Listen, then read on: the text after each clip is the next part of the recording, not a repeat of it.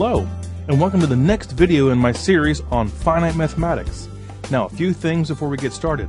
Number one, if you're watching this video because you're struggling in a class right now, I want you to stay positive and keep your head up.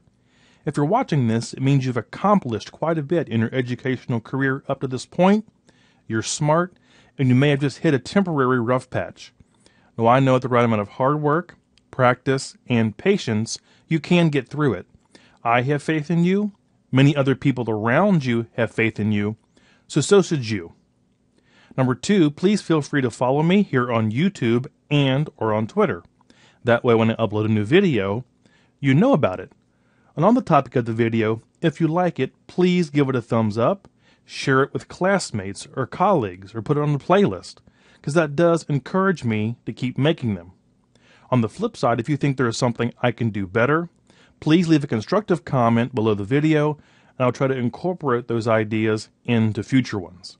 And finally, just keep in mind that these videos are meant for individuals who are relatively new, or brand new for that matter, to finite mathematics.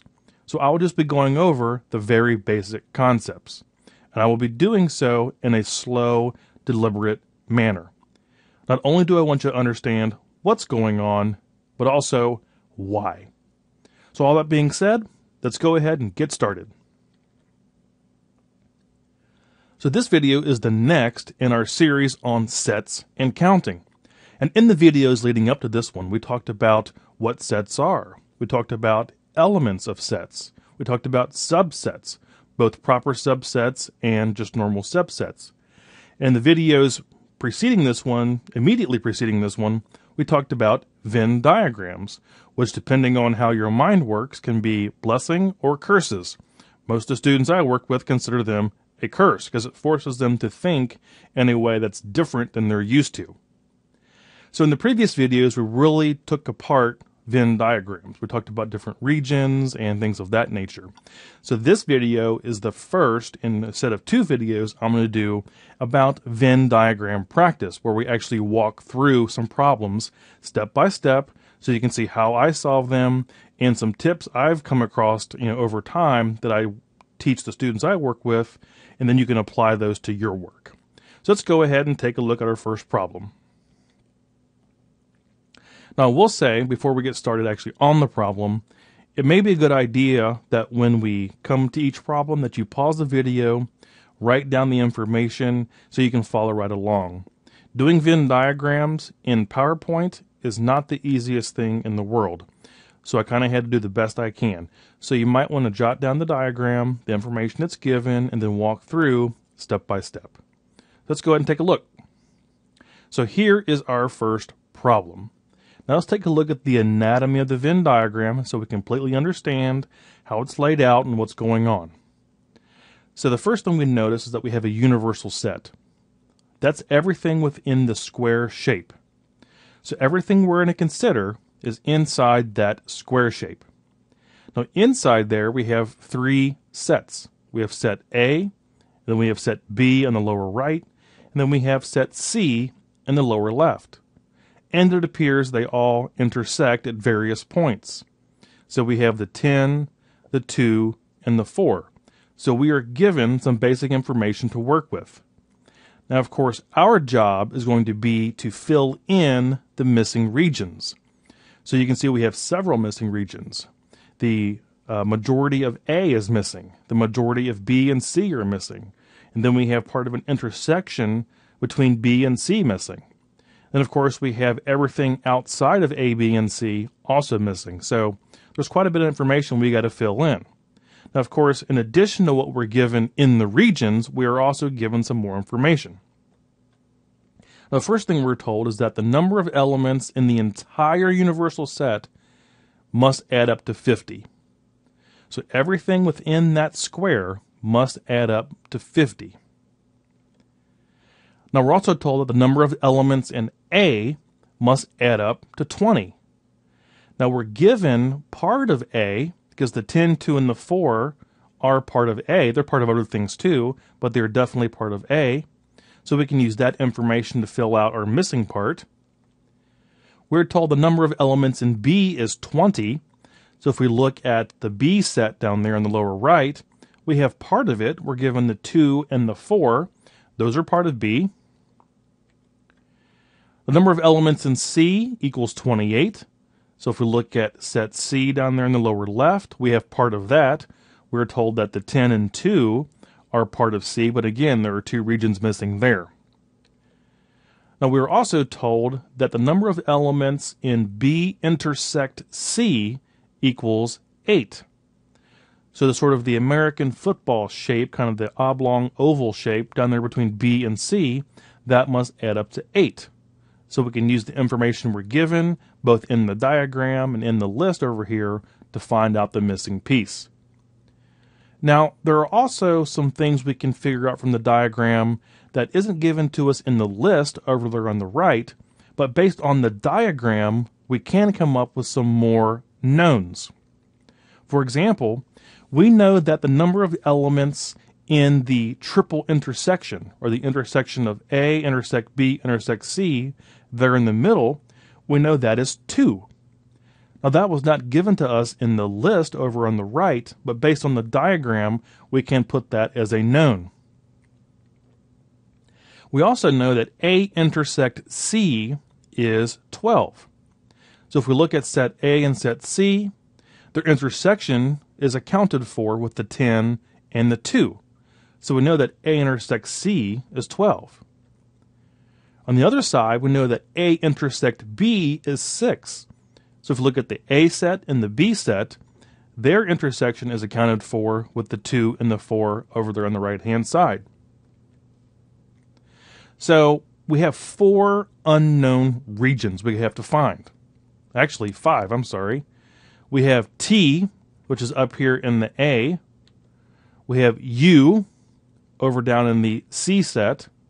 We have V, which is in the intersection of B and C and we have W, which is down here on the lower right. Now, in addition to this, and this is my fault, we also have one more. You know where that's at? What's on the outside? So anything outside of A, B, or C is going to be in the region between the A, B, and C sets and the universal set sort of on the outside. So that's my fault for not putting that in there. I do apologize. Okay, so let's talk about how to find this first missing piece. So we're going to try to find the part of A that is unknown. Now we know that the number of elements in A has to add up to 20. So we can find that missing region using subtraction. So if the entire part of A has to add up to 20, we can subtract the 10 that's accounted for here in the left.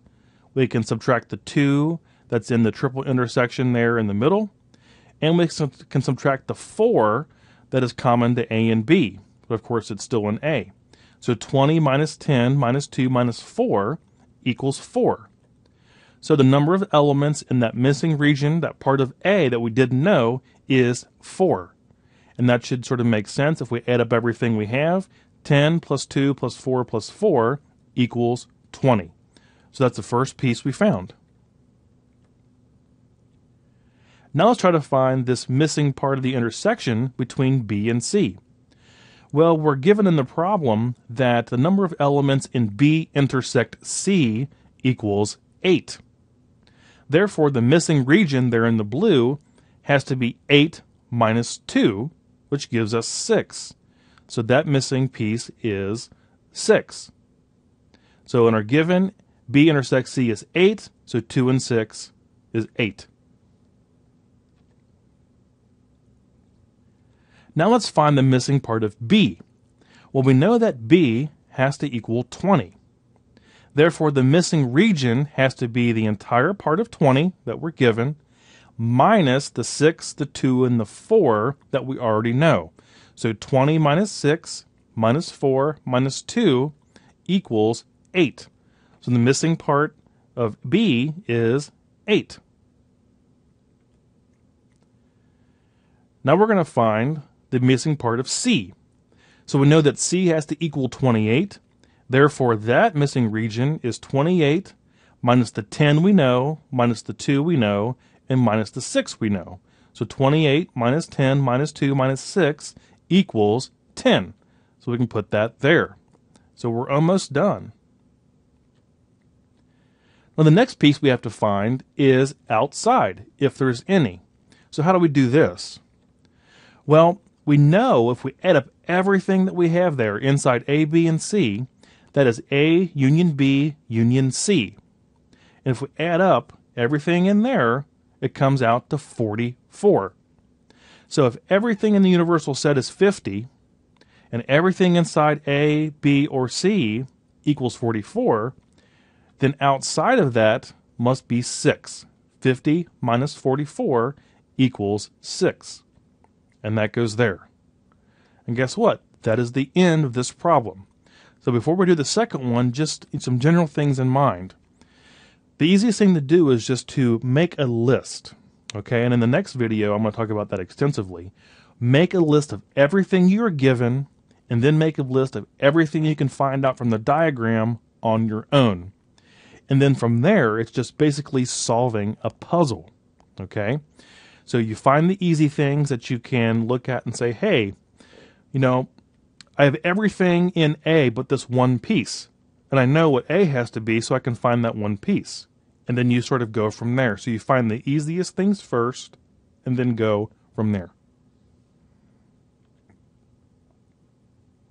Okay, so this is going to be a practice problem too, and this one's a bit more difficult because some of the things we have to find, we don't have a lot of information off, you know, right off the bat. Let's go ahead and take a look at this one. Okay, so the same basic setup. So we have a universal set, which comprises everything of interest. We have three sets in the middle, A, B, and C, same thing as last one. But then we have different pieces of information. So we have, um, outside of A, B, and C, we have 100. So outside of the union of A, B, and C, the elements are uh, 100. But then we have bits and pieces of other parts of the Venn diagram we have two parts of A. We have a 3 and 4 there. We have two parts of B, a 10 and a 4. Then we have two parts of C, a 15 and a 10. So you look at this and you're thinking, well, how I have two missing pieces for everything. How can I find that? So this is how we're going to do it. So here are some givens. The number of elements in the entire universal set is 140. Now, what we can discern from that, and it's actually given to us here, is that everything outside of the union of all three A, B, and C equals 100. And that's down here in the lower right. But that tells us something else, which we'll talk about here in a second. Now we're given that the number of elements in A equals 10. The number of elements in B equals 19. So again, if we look at A, we have two elements or two regions out of four. So we got to figure out what's going to add up to 10 there. With B, we know it has to add up to 19, but we only have the 10 and the 4 to work with. So, what can we find out just from what we have, which is not much, to tell you the truth. There's not much to go on at the start. Now, if the entire universal set is 140, 140, and then the complement of the intersection of A, B, and I'm sorry, the union of A, B, and C is 100. That's the 100 outside there. What does the union of A, B, and C have to be?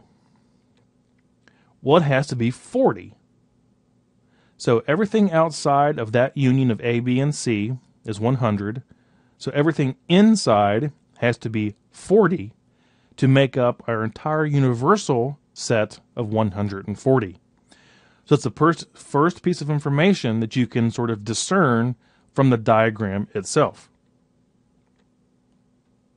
So we'll go ahead and put that in our list of givens or knowns over here. So we have our universal set 140. We have the complement of the union of all three sets equals 100 down there at the lower right. That means we know that A union B union C has to add up to 40. The number of elements in A is 10. The number of elements in B is 19. So what can, what can we do with this? Well, there are three regions we do not know. We don't know T here in the middle. We don't know U, which is over there in the intersection of A and C. And we don't know V, which is part of v, uh, B. So those are the things we're going to have to try and find. Now, the first thing we're going to do is we need to figure out a way to find, you know, part of a missing piece. And one of the things that makes this Venn diagram challenging is that all of our sets A, B, and C have two unknowns in them. So we kind of have to work with what we have. Now, if you see what I've done here, what we know is that the number of elements in A has to add up to 10. So for that to be true, we know that the number of elements in this intersection here, which again, that that is comprised of two unknowns, which we'll talk about in a second. But this little shape here in the green, well, that has to have three elements in it. So we can kind of put a three there temporarily. Now, we know that this region where the three is, is made up of two unknowns. But for now, that's not really important. This is just a temporary step because when we fill in that 3 there, what does it allow us to find? Well, that allows us to find the value for V there in the lower right. So just this very simple acknowledgement that because A has to add up to 10, this little slice here on the left-hand side has to be 3. That would make A add up to 10. That'll, that frees us up to find V, which if you look at this Venn diagram now, that's the only unknown. That's the only unknown. So how do we find that? And I've gone ahead and colored it in blue here. What we know is that since A union B union C equals 40, we can use subtraction to find that, that bottom unknown. Should be bottom right, not bottom left. So 40, which is the union of A, B, and C, minus the 15 we have there, minus the 10, minus the 3, minus the other 3, minus the 4, leaves us with 5. So we know this region has to be 5. Now we could not have done that without this little trick of the part of A that is 3. That was the importance of that intermediate step. So the 5 there is what we found. Now we can move on to the next part. Now, since we know that B has to add up to 19, we can now find the unknown T there in the middle. Because since we found the 5 in B, now we can find the other unknown in B, which is T there in the middle. So use subtraction. So 19, which is the totality of B, minus the 10, minus the 5, minus the 4 leaves us with, believe it or not, 0. So the value of t, the value of the triple intersection there in the middle, is 0. Great, now we only have one more thing to find, and that is the part of the intersection between A and C there in the blue. And we can do this um, using A. Since we know that A has to equal 10, we can just subtract to find that last unknown. So 10, which is the entirety of A, we're given, minus the 3, minus the 4, minus the 0, leaves us with 3. So the unknown there in the blue section is 3. And that's that. Great work. That's kind of a hard one because, again, we had three sets there with two unknowns. So we kind of had to use that little trick there between A and C that allowed us to find the part of B, and then we can actually work backwards from there. Again, it's, Venn diagrams are all about practice. You just have to do them. You see patterns um, that develop in the questions and things of that nature. So, again, it's just practice. So, a few Venn tips from me. Number one, write out everything the problem gives you. Use a lot of paper, make lists, because it helps you tremendously. There's the more you put on paper, the less you have to keep in your mind at any one time. Using the numbers in the original problem, make a list of everything else you can find out on your own. So in both these problems, there were things that weren't given to us in list form, but by looking at the numbers in the Venn diagram, we could write down. So always look for those things as well. Now sketch out on your own intermediate diagrams so you can go back and trace your work. So you've noticed in this uh, video, I had a Venn diagram for every step. And that way I could go back and look at what I was doing and see how the parts go together. So make diagrams along the way. Now try to start in the center, which is the overall intersection, if at all possible, and then work your way outward because that's the most specific. So the triple intersection there in the middle, when you have three sets, that's the most specific. So you can use that specific part to find larger parts as you kind of spiral out from there. So always start in the middle if you can. And combine regions temporarily if it will help you find a different unknown. So that's the trick we used in the second problem. So we used that part of A to find the part of B that we were missing. Even though that little part we put together comprised two unknowns, we still we still knew that they had to add up to three, whatever they were, but that allowed us to find that part of B that we were missing. Then we could go back and find the rest. And finally, be patient. Venn diagrams are deceptively simple, but they require a method of thinking that we really aren't used to because you have to do it visually in your mind. You have to think of the Venn diagram in pieces and layers um, and things like that. So it's kind of like part puzzle, part chess game, part math problem. So just be patient and work through it methodically. Okay, so that wraps up our first video on Venn diagram practice. So I wanted to expose you to two problems that come up quite a bit um, when working with Venn diagrams in your finite math class. Now in the next video, we're going to do word problems. So you have the additional step of having to extract the information from the words in the problem, then set up your own Venn diagram and go from there. So it's that added complex step of figuring out what the Venn diagram looks like just from the words and numbers in the problem. Okay, so just keep in mind if you are struggling in your class, I want you to stay positive and keep your chin up. You're a smart, talented person, and you may just hit a temporary rough patch because Venn diagrams can be difficult, even for students who had calculus in high school. It's just a different way of thinking. Now, keep in mind that these videos are meant for individuals who are new to finite math so if you're looking for more advanced stuff, you can check out my later videos or my other videos or other people's videos, but I want you to have a firm understanding of the basic concepts. If you like the video, please give it a thumbs up, put it on a playlist, or share it with colleagues or classmates. That does encourage me and other screencasters to keep making our videos. If you think there's something I can do better, leave a constructive comment below the video, and I'll try to take that into account for future ones. So finally, just keep, just keep in mind that because you're on here trying to improve yourself, trying to get smarter, trying to do better in school, or trying to run your business more efficiently, that's what really matters, okay? So, thank you very much for watching. I wish you all the best of luck in your studies or in your other work, and I look forward to seeing you again next time.